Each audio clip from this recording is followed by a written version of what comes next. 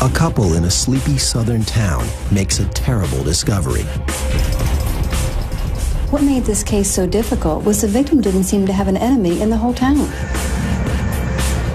Investigators turn to behavioral clues for answers. The way a victim is left at a crime scene tells us a lot about an offender.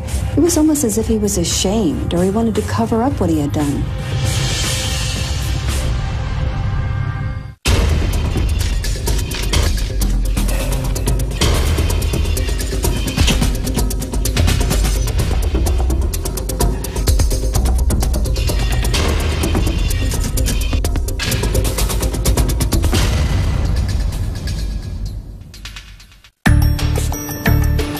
Lake City, Florida, nestled in the Suwannee River Valley.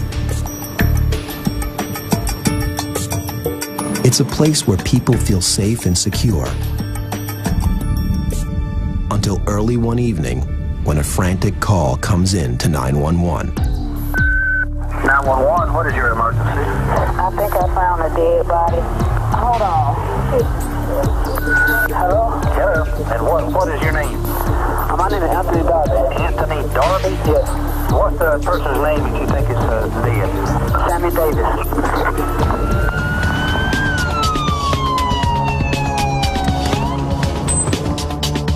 Officer Terrence Tyler races to the scene. From the front, the residence appeared to be secure. Front door was locked, and there were no signs of forced entry. Came around back, the back door was open. I could see through the glass, and I could see the victim. He's laying on the couch on his back. His face was covered by a pillow, and he had several lacerations on his face. Sammy Davis is dead at the scene. Uh, we checked the, the area for a weapon. Uh, we were not able to find one. But he does uncover something else of interest. We did find the victim's wallet lying on the floor next to the couch. The wallet was empty. We checked the rest of the home. Nothing else appeared to be disturbed.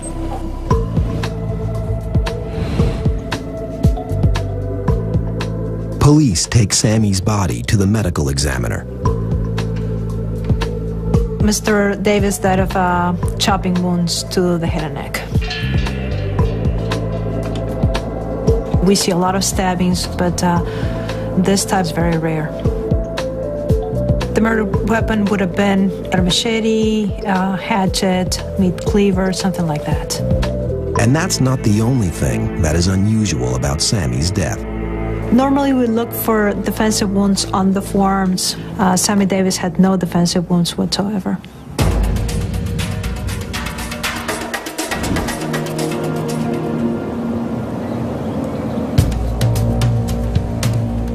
The next morning, Sheriff Bill Gootee joins the investigation.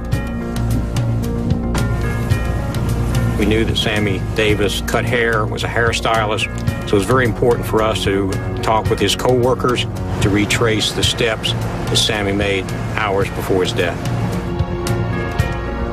Sheriff Gootee learns that Sammy Davis was seen at the beauty salon just hours before he was killed.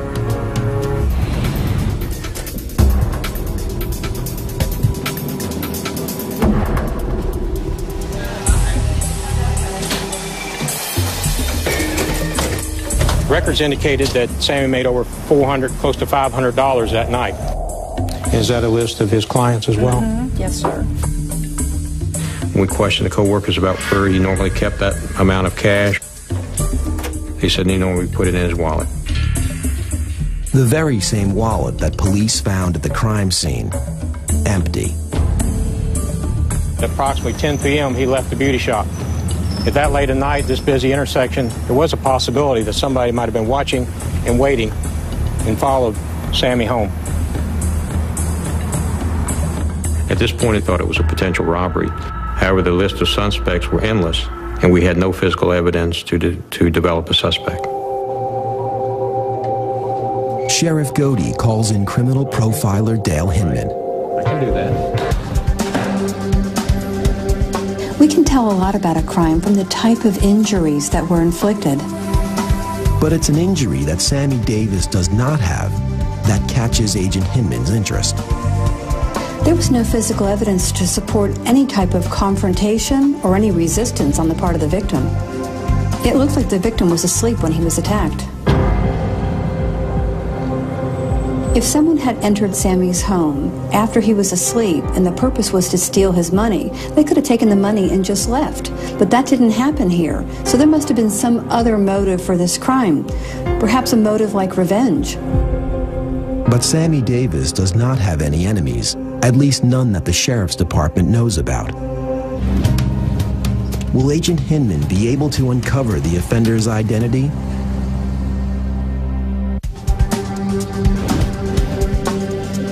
Popular hairdresser, Sammy Davis, is attacked and killed inside his home.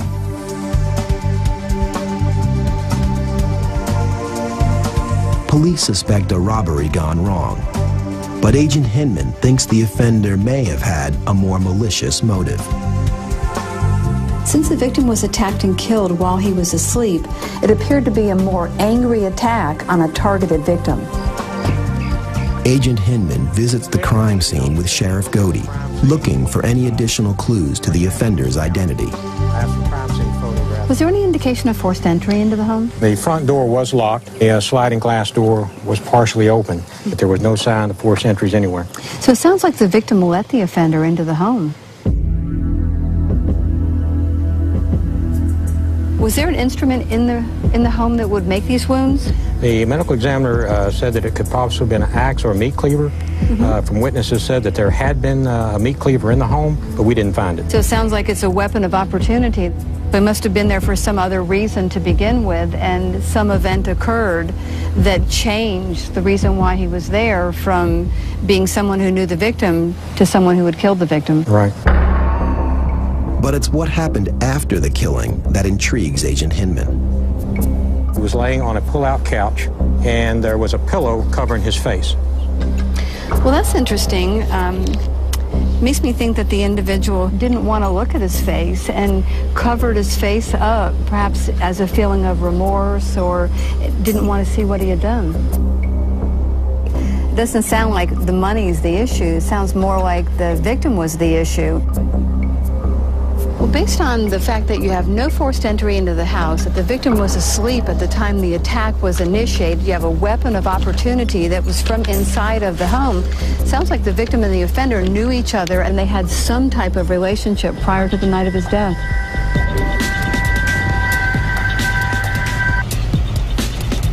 Based on this information, Sheriff Gootee looks into Sammy's friends and family for a possible suspect.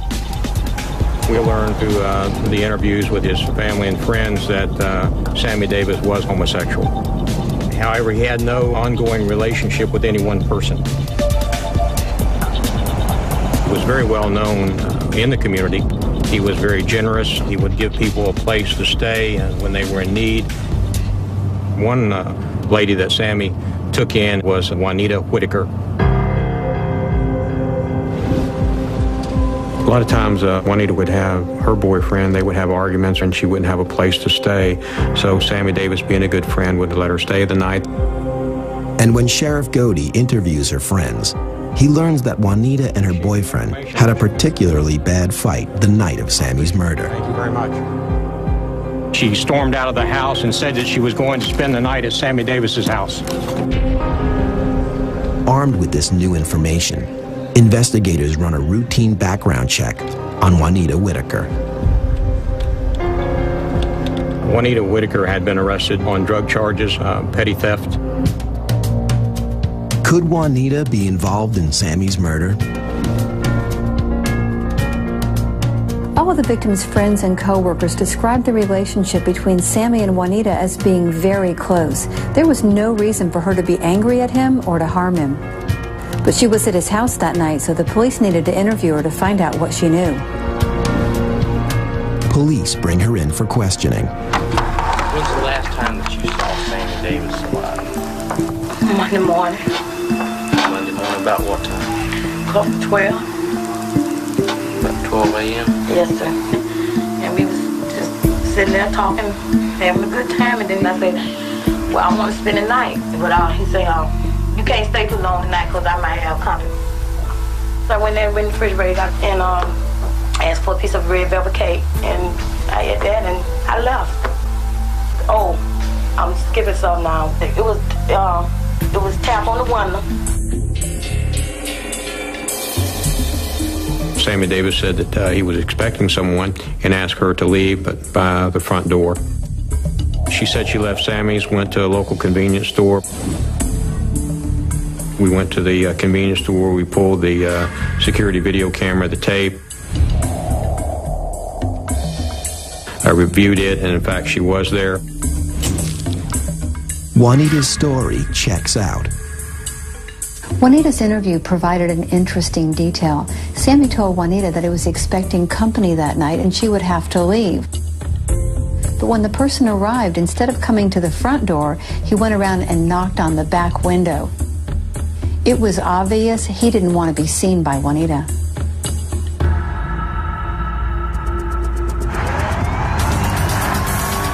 But before Agent Hinman can follow up on this clue, another body is discovered nearby on the bank of the Suwannee River, with distinct chop wounds to the victim's neck. We have speculated it could possibly be an axe or a meat cleaver or a, a large hunting knife. Two men dead, both with unusual injuries to the neck. Is it just a coincidence, or will it lead to Sammy's killer?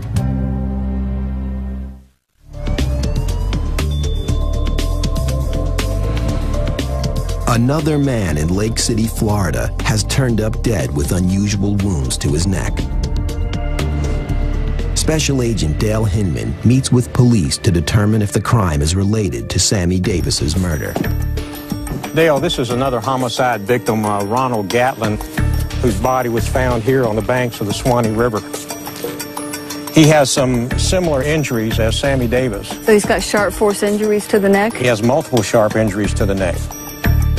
Did your victim have any defensive wounds? Uh, no defensive wounds. Where do you think the victim was killed? Uh, evidence indicates that he was killed uh, on a sofa in a, in a mobile home. Was anything missing from the mobile home? The only thing that was missing was cash from his wallet, approximately $60. A man killed on a sofa, chopping wounds, an empty wallet. It's all very similar to Sammy Davis's murder. But Agent Hinman is skeptical that they are related. What's really significant about this case is the fact that Mr. Gatlin was moved to this location. I think the offender didn't want him to be found, but Mr. Davis's killer left the back door unlocked. The position that he left him in with the, the pillow over his face, I think that he felt really badly about this crime, and he wanted somebody to find the body and find the, the body pretty quickly. So even though there's some really marked similarities, I think the killer is not the same person.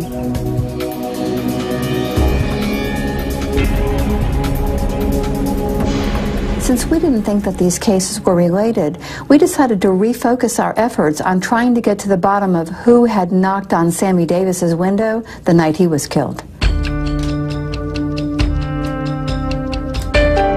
It was, uh, it was tap on the window. Hinman reviews Juanita's interview. She was pausing before she was answering many of the questions. It sounded like she knew more about what may have happened the night of the murder. But why would Juanita be withholding information? Hinman meets with Sheriff Gootee to explore a potential theory. I'm wondering if the reason why this is, is she has some fear of law enforcement. Has she ever been arrested in the past? She has, uh, by the Columbia County Sheriff's Office. She has some minor drug charges. Were there ever any reports of any drug activity at the victim's home? And there were some reports that there might have been some drug use at his home. Perhaps that may be something to do with why Juanita's not very forthcoming in her information about what happened that night. And Agent Hinman has an idea for getting Juanita to talk. Perhaps if I went over there and spoke to her woman to woman and explained to her that we're not interested in any minor drug activity that may have occurred in the residence. What we're interested in was who was there and who committed this murder and how can she help us. Perhaps she'll give me a more consistent account of what occurred there that night. I went to Juanita's home to see if I could get her to tell me the truth about what happened the night Sammy was killed. After a couple of hours, Hinman's strategy begins to pay off. I didn't go right exactly to see Sammy then. I got a couple drinks and got some weed and smoking and stuff. Juanita told me that she occasionally used drugs, and on the night of the murder, she went over to Sammy Davis's house to party. The key witness in Sammy Davis's murder reveals that she had been partying at the victim's house the night of the murder. One of the reasons we decided to go and re-interview Juanita was to try to determine the identity of the person who had knocked on the window the night Sammy was murdered. Once Juanita realized that we were not trying to charge her for using drugs, we only wanted to solve her friend's murder, then she admitted she recognized the man who had come there that night. And who was at the house? Anthony, I left him at the house. And what was Anthony doing? Tripping. Anthony Darby, the same man who had found Sammy's body and called 911 to report it. And what, what is your name? My name is Anthony Darby. Anthony Darby? Yes. Offenders often interject themselves into investigations to attempt to determine what law enforcement knows or to try to influence the case. That's a red flag for us. Darby is brought in for questioning. He admits he saw Sammy the night of the murder. He opened the door, let me in. We talked for a little while. He said he was tired. I said I was tired. So I pulled out the couch. Did y'all smoke anything or anything? I smoked some crack. Darby tells police that he fell asleep on the sofa in the living room. Several hours later, he woke up with a start and found Sammy next to him. I woke up and I looked around and I said, God damn. Anthony Darby said he woke up. He didn't know if anything sexually had happened. Uh, he just kind of freaked out. But Agent Hinman doesn't buy it. She thinks Darby is just making excuses for what happened next. If Anthony was responding to what he thought was an inappropriate sexual advance, then why did he wait until Sammy went to sleep to attack him? Why did he cover his face? Why did he stage the crime scene to make it look like it might have been a robbery and then remove all the evidence from the scene? But if Darby's motive wasn't an unwanted sexual advance, then what was it? According to Juanita, Sammy told her that Anthony had become very abusive toward him and he was planning on telling him to stay away. And when told to stay away, Anthony Darby flew into a rage. He went into the, the other room. He grabbed a meat cleaver. He went back in and struck Sammy Davis in the throat and the head. What'd you do then? I said, well, and it make it look like a robbery. Anthony Darby took the $500 from Sammy's wallet and fled the scene. When three days had passed and no one had discovered the body, Anthony Darby asked his girlfriend to drive him over to Sammy's house. I knocked on the front door and I got no answer, which I kind of expected. I was finna get back in the car, but then I say, no, this is a good time as any to find because I got somebody with me. Anthony said that if he found Sammy's body with his girlfriend present, the police would not think he was involved in the murder. So instead of getting in the car, I went around to the back of He was there. He was just like he was when I left. So I went out and got her, put on one of my Oscar winning performances. A performance that landed him in jail. After a brief trial, Anthony Darby is convicted for the murder of his friend Sammy Davis and is sentenced to 25 years to life. Sammy Davis was a kind and generous man who was a friend to everyone he met. Sadly, it was someone who was close to him who betrayed him and took his life. Thanks to the hard work and dedication of everyone involved in this investigation, we were able to bring Sammy Davis the justice he deserved.